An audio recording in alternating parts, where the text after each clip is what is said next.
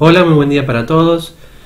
En este nuevo video, dado a los comentarios de ciertos suscriptores que me preguntaban cómo podían progresar, porque estaban estancados, porque no conseguían salir de un cierto nivel, he decidido crear este video en especial llamado El Progreso en Ajedrez, donde les voy a mostrar básicamente un programa de entrenamiento eh, con una guía clara sobre qué estudiar, cuánto tiempo dedicarle y los contenidos que ese programa de entrenamiento debe tener.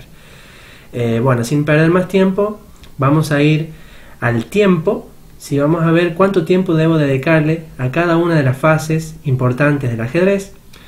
Y vamos a notar que bueno, tengo táctica, finales, apertura, análisis de partida y estrategia. ¿sí? He incluido los análisis de partida porque bueno, realmente es una fase importantísima del ajedrez y sobre todo si estamos hablando del nivel principiante e intermedio, que bueno, es eh, la finalidad de este video, es fundamental comenzar con el análisis de nuestras partidas para ver los errores que tenemos. Si no analizamos las partidas que jugamos, jamás vamos a saber en qué nos equivocamos y obviamente eso no es lo que queremos. Así que bueno, eh, la táctica, como pueden notar, eh, un 40% de nuestro tiempo le debemos dedicar a la táctica. ¿Qué quiere decir la táctica? Bueno, la táctica abarca hacer problemas de cálculo y abarca también cubrir toda la fase teórica que tiene que ver con ver todos los motivos tácticos, ¿sí? Eh, posiciones en particulares de táctica, etc. Así que bueno, eh, como mínimo todos los días de lunes a viernes deberíamos dedicarle un cierto tiempo ¿sí? a hacer problemas de táctica, eh, obviamente para agilizar nuestra visión. Eh, yo diría más o menos media hora, que bueno, ya lo vamos a ver cuánto tiempo aproximadamente, pero bueno, sí o sí deberíamos dedicarle un 40% a la táctica, que es importante en jugadores que recién comienzan eh, estar con una visión clara para no colgarse tanto. Luego pasaríamos a ocupar nuestro tiempo en lo que es la apertura y los finales.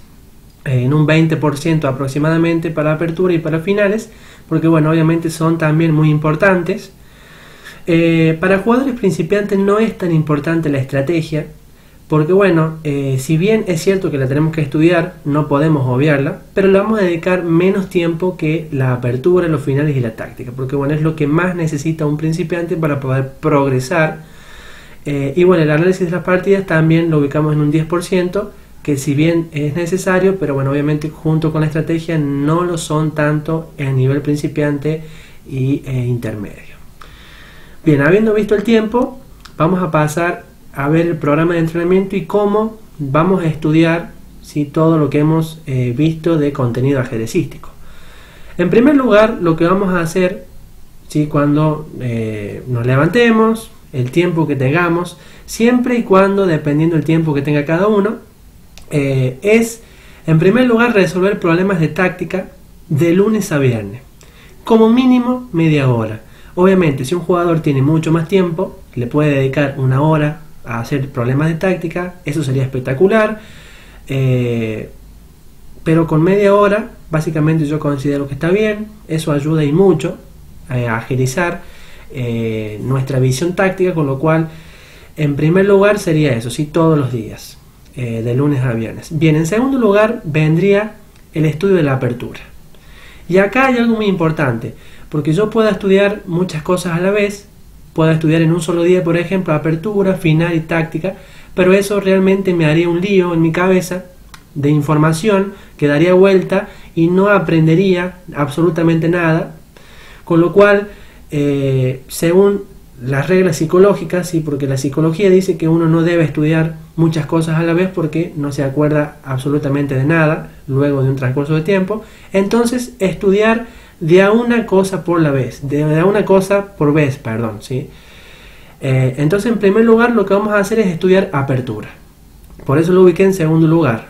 Una vez que terminemos con apertura, ¿sí? que tenemos que construir nuestro repertorio de apertura, que es fundamental, y lo ubiqué primero porque es muy importante tener nuestro repertorio de apertura, recién vamos a pasar al paso número 3, que es aprender los principios básicos y fundamentales del ajedrez. Eh, está marcado en color, ¿sí? resaltado, porque es fundamental los principios. Si uno no aplica los principios del ajedrez, si no sabe lo que tiene que hacer en la apertura, en el medio juego y en el final, básicamente no va a tener idea de lo que está jugando, va a cometer errores, se va a colgar pieza. Entonces, bueno, es tan fundamental como hacer problemas de táctica. Eh, no solamente debo aprender los principios, sino que también debo aplicarlos. Obviamente, luego voy a hacer un videito sobre los principios, explicándolos bien claro, para saber cuáles son los principios, eh, con ejemplos ilustrativos de partidas, así bueno, uno ya le, eh, queda bien claro eh, cuáles son los principios y cómo se aplican en determinada posición.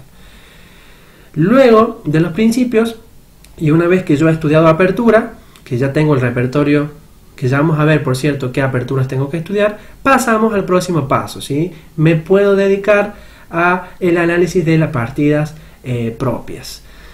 El análisis de las partidas propias, básicamente, eh, mientras voy estudiando apertura, lo ideal sería que yo pueda jugar partidas, por ejemplo. Si yo estudio apertura de lunes a viernes, eh, quizás un día sábado y domingo puedo usarlo para jugar partidas y analizar eh, las posiciones de esas partidas. Y bueno, sería ideal si puedo aplicar en esas partidas la apertura que estoy estudiando. Sería espectacular y de hecho yo les recomendaría que hagan eso. Entonces, ¿cómo se van a organizar? Bueno, eh, de lunes a viernes van a hacer problemas de táctica, eh, van a dedicar más o menos media hora o una hora según el tiempo que tengan y a la vez de lunes a viernes van a empezar primero con apertura. Hasta que no terminen con todo el repertorio de apertura no van a comenzar con táctica, eh, estrategia y finales. ¿sí? Y el sábado y el domingo, que es el día que realmente les quedaría libre, van a jugar partidas de entrenamiento. ¿sí? La partida de entrenamiento tienen que ver con analizar los propios errores para ver dónde se equivocaron y corregir esos errores. ¿Cómo los van a corregir? Usando la máquina, ¿sí? Stofish, Komodo, Houdini. Eh, como así también no solamente voy a analizar mis partidas, sino que lo ideal sería que bueno, de vez en cuando pueda haber una partida de un gran jugador como Kasparov, Karpov, Fischer, Petrosian y analizar las partidas de esos grandes jugadores para que podamos aprender nuevas ideas. Eso sería también espectacular y de hecho es muy recomendable que lo hagan. Les va a ayudar un montón en su progreso eh, ajedrecístico. Y bueno, una vez que termine con la apertura, voy a pasar a estudiar eh, la táctica en primer lugar, puede ser, o como ustedes quieran organizar, si quieren hacer primeros finales, si quieren hacer primera estrategia, eh, eso depende de ustedes, pero bueno, recuerden siempre ir en un orden escalonado. Si van primero ven apertura, luego que terminen apertura pasan a estudiar táctica y luego que terminen con la táctica pasan con la estrategia y luego la estrategia pasan con los finales. Eh, y siempre tienen que tener presente que si estudian todo junto, si no se van a acordar de todo y eso les va a traer un gran problema en su aprendizaje. Así que bueno, siempre estudiar en un orden escalonado. Eh, bien, entonces habiendo visto el programa de entrenamiento, vamos a ir a eh, la táctica, ¿sí? hacer problemas de táctica. ¿Dónde puedo ir para hacer problemas de táctica? Bueno, puedo ir a Chess Tempo, que es una página donde hay millones de problemas. Chess24 también, o alguna apps de celular que vienen ahora, eh, son muy común encontrar problemas para resolver. Y bueno, como les decía, hacer problemas de lunes a viernes, eh, el tiempo que puedan, recomendaría que sea más de media hora. Y eh, si, tengo que recomendar uno de esos tres posibilidades, yo les recomendaría Chess Tempo, porque bueno, obviamente Chess Tempo eh, divide por niveles los problemas, comienza con un nivel fácil, mediano y difícil, entonces bueno, vayan promediándose, si ven que los problemas fáciles les resulta demasiado fácil y lo están sacando todos, bueno, pueden pasar a nivel mediano, y así van subiendo de rango hasta que pueden llegar a ser los problemas de nivel difícil. Así que bueno, eso yo diría que empiecen con nivel fácil para ver más o menos dónde están parados, si están muy mal o si están más o menos. Y si ven que están más o menos bien, pasan a mediano y bueno, empiezan a hacer con ese nivel. Bien, eso es en cuanto a los problemas. En cuanto a la apertura, en primer lugar, si vamos a escoger aperturas, tienen que ser aperturas clásicas y sólidas. Y obviamente no nos debe tomar mucho tiempo para poder aprender. Eh, como estamos recién comenzando eh, y nos cuesta progresar porque realmente debemos tener problemas para atacar, debemos fallar en el ataque, yo les recomiendo que jueguen peón rey. Kasparov decía que si estoy comenzando tengo que jugar peón rey. una vez que yo aprendí a atacar, que tengo una muy buena consolidación en cuanto al ataque, recién puedo pasar a peón dama si lo deseo. Pero bueno, comenzar siempre con peón rey era la recomendación que Kasparov decía. Eh, así que bueno, yo también les recomiendo que lo hagan. Eh, decir que bueno, nuestro canal no se tienen que preocupar por absolutamente nada porque van a tener todos los videos. Eh, las recomendaciones que en el canal vamos a hacer es que bueno, estudien por ejemplo, si le juegan una siciliana, el ataque Grand Prix ¿Por qué les recomiendo el ataque Grand Prix? Porque bueno, es muy fácil de aprender, no tienen que emplear mucho tiempo eh, y eso obviamente es fundamental. Si nos ponemos a analizar la Naidorf, la Svenikov, la Dragón en profundidad, vamos a notar que nos lleva un montón de tiempo y como estamos en nivel principiante y tenemos muchos problemas, no necesitamos eso. Si no tenemos que perder tiempo en la apertura, tenemos que más bien perder tiempo en el medio juego estudiando la táctica, la estrategia y los finales, que es lo que realmente nos falta para poder progresar. Eh, entonces, bueno, aperturas fáciles de aprender y fáciles de jugar es la recomendación que yo les digo. Eh, ataque Grand Prix para la siciliana, el ataque indio de rey para eh, la francesa, para la Carocan la variante del avance, que lo vamos a cubrir en nuestro canal, como les digo. Para la PIRC y la defensa moderna vamos a hacer el ataque dragón con la jugada F3. Para eh, la jugada de 5 del negro vamos a recomendar la española, la verdad que es la mejor apertura que tiene el blanco junto con la, italiana. Yo les recomiendo la española. Contra la escandinava les voy a recomendar la variante clásica, que obviamente toma en D5 y bueno, juega caballo C3 y D4, ganando el centro. Eh, también la vamos a hacer en futuros videos. Y em, contra variantes extrañas que se pueden desprender, como por ejemplo con E4, B6 o E4 y alguna apertura extraña, también la vamos a cubrir en nuestro canal, así que bueno, no tienen por qué preocuparse, van a tener todas las posibilidades para poder estudiar y de manera fácil y sencilla. Y con negras, por ejemplo, ante la inglesa vamos a recomendar que jueguen E5, ¿sí? que también la vamos a hacer, eh, nos queda por cubrir esos videos que aún eh, no hemos hecho. Contra E4, bueno, recomendar que jueguen E5, que es lo más sólido que tienen, junto con la defensa siciliana. Yo les recomendaría que jueguen E5 para comenzar. Y ante D4 vamos a hacer una serie que se llama la defensa Grunfeld, muy pronto. Así que bueno, esa defensa es ideal para jugadores que están en camino de progreso, eh, porque bueno, obviamente tiene un muy buen desarrollo de piezas y es muy fácil de aprender. Y bueno, también se van a cubrir variantes muy extrañas, como por ejemplo no sé, variantes como G4, F4, B3, ¿sí? Eh, que bueno, no estén dentro de lo clásico, que es E4 y D4, así que bueno, eh, también la vamos a cubrir para que bueno, no haya ningún tipo de dificultad. Bien, en cuanto a los principios básicos, nos vamos obviamente eh, a basar, sabemos que hay principios que rigen la apertura, el medio juego y el final, Conocerlos, entenderlos y aplicarlos les va a ayudar mucho a no colgarse, que eso es lo fundamental en un principiante, no colgarse y a mejorar su juego significativamente, a la vez que simultáneamente ayudará a que suba su rating. ¿sí? Elevar el rating de un principiante es lo que, bueno, obviamente eh, sueña y que no puede hacer, así que bueno, eso, los principios básicos y elementales del ajedrez le va a ayudar a fortalecer su medio juego y bueno, obviamente va a cargar eso un aumento en su rating. Eh, en cuanto a jugar y analizar partidas, Yusupov decía, posiblemente me desarrollé con éxito como ajedrecista porque empleé mucho tiempo el análisis de mis partidas. Pienso que el análisis de las partidas propias es el método principal para auto perfeccionarse. Eh, si lo dice Yusupov, eh, algo debe haber Así que bueno, eh, no es solamente Yusupov, hay muchos ajedrecistas profesionales como Kasparov, Karpov, que han utilizado este método para poder progresar. Y bueno, saber que el análisis de nuestras partidas eh, no solo nos ayudará a detectar los errores comunes, sino que bueno, a partir de esta información podremos replantear y realizar pequeñas modificaciones a nuestro plan de entrenamiento, enfocándonos en posibles patrones recurrentes detectados en nuestro juego. La mayoría de las veces será mejor dedicar eh, tiempo a perfeccionar herramientas que ya conocemos, pero no logramos aplicarlas eficazmente antes de emprender la aventura hacia el nuevo conocimiento.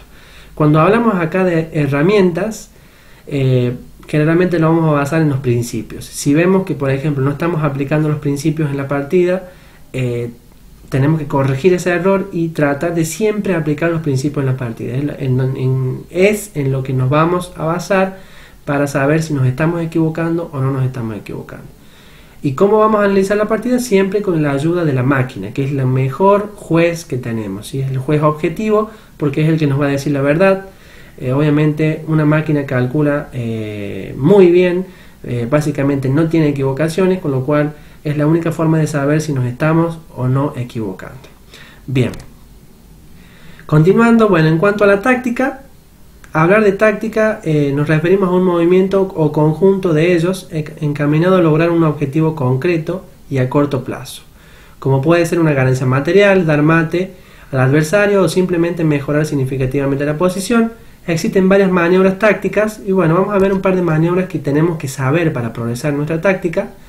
Por ejemplo, eh, a la desesperada, el ahogado, ataque al punto F7, F2, ataque descubierta, rayo X, captura eh, al paso, celada, desviación, clavada, cómo atacar el enroque, coronación, defensa, eliminar un defensor, horquilla, ataque doble, interposición, jaque doble, jaque perpetuo, mate de la cos, mate en 1, mate en 2, mate en 3, mate básico, molino, oposición, pieza atrapada, pieza indefensa, red de mate, rey vulnerable, sacrificio, sacrificio de calidad, sacrificio de damas, sacrificio de evacuación, simplificación, sobrecarga, táctica en el final, última fila y sus one o sun one como quieran decirle. Eh, esos serían básicamente los temas de táctica que deberían saber como para fortalecer el aspecto táctico más el entrenamiento con los problemas eh, de táctica que van a hacer eh, de lunes a viernes. Yo considero que con eso van a fortalecer mucho su aspecto táctico y bueno, eso les va a ayudar a que obviamente no se cuelguen ninguna pieza. Bien, en cuanto a la estrategia, eh, obviamente hay muchos temas por entrenar. Yo les voy a recomendar que estudien, eh, bueno, obviamente en nuestros videos porque vamos a ir viendo temas estratégicos importantes. Y además, si quieren fortalecer mucho más, que busquen un libro de medio juego y lo lean. ¿sí? Eso también les va a ayudar a fortalecer. Un libro, por ejemplo, que pueden leer puede ser el de Aaron Ninsovich, ¿sí? Mi Sistema, eh, un gran libro, o puede ser eh, los tomos de Grau, el tomo 1 y el tomo 2 específicamente, eh, les va a ayudar y mucho. estos dos libros, estos tres libros mejor dicho, se los voy a dejar ¿sí? en la descripción del video, les voy a dejar el link para que los puedan descargar totalmente gratuitos, así que bueno, aprovechen la posibilidad, descarguen los libros, vayan leyéndolo, eso les va a ayudar cuando les toque la parte de estrategia a fortalecer y mucho. Pero recuerden siempre empezar con la apertura, porque bueno, obviamente es muy importante. Dejen los finales al último, como es el último paso que tenemos, por la razón de que los finales, como es la última parte del ajedrez, si no estamos fortalecidos en la apertura y en el medio juego, es muy difícil que vamos a llegar a un final. Por eso lo dejamos para estudiar al último. Y bueno, obviamente es muy importante, porque como decía Capa Blanca, con el fin de mejorar tu juego, debes estudiar los finales antes que todo, ya que mientras que los finales pueden ser estudiados y dominados por sí mismos, el medio juego y la apertura deben ser estudiados en relación con los finales. Totalmente cierto, pero también es cierto que para llegar a un final sí o sí necesito tener fortalecida la etapa de la apertura y el medio juego, con lo cual lo vamos a dejar para estudiar en un último rango a los finales, pero bueno, obviamente dedicándole su tiempo, dado que hemos hablado de que es un 20%, lo cual requiere un tiempo importante, ¿sí? Hay que dedicarle tiempo también a los finales cuando le toque su turno. Eh, bien, bueno, eh, saber que bueno, el estudio de los finales es difícil para jugadores que recién empiezan, que son principiantes o que son eh, que están estancados. Y bueno, se debe a que bueno, muchas, como les decía recién, muchos juegos se resuelven prematuramente en el medio juego o en la apertura, porque puede ser por algún recurso táctico o error decisivo. Entonces, bueno, ahí está la importancia de primero la táctica, ¿sí? Eh, sin embargo, el estudio de finales es el pilar en la mayoría, en la mejora, perdón, para nuestro mejor desempeño ajedrecístico, ayudándonos a identificar planes y patrones en las etapas previas de la partida. Bueno, básicamente recapitular información para avalar mi plan de entrenamiento. Eh, y bueno, creo que con esto eh, van a andar muy bien creo que van a progresar y van a subir su nivel significativamente y van a llegar a un cierto nivel adecuado. Si ven que, por ejemplo, eh, han llegado a 1900 o 2000, Entonces, bueno, ya pueden pasar a estudiar una apertura que sea un poco más compleja, no sé, como por ejemplo entrar en la dragón o entrar en ese tipo de aperturas. Pero mientras tanto, no creo que sea recomendable hacerlo y les recomiendo que estudien las aperturas que yo les he dicho. Bien, eh, sinceramente les deseo que tengan un muy buen progreso y que bueno, este programa de entrenamiento les sirva para que puedan progresar. Nos vemos chicos y eh, recuerden que eh, estudiar requiere su esfuerzo, ¿sí? Dedíquenle tiempo y bueno, eso los llevará obviamente a un gran progreso ajedrecístico y obviamente como ven en la imagen a obtener trofeos, torneos, etc. Chao chicos.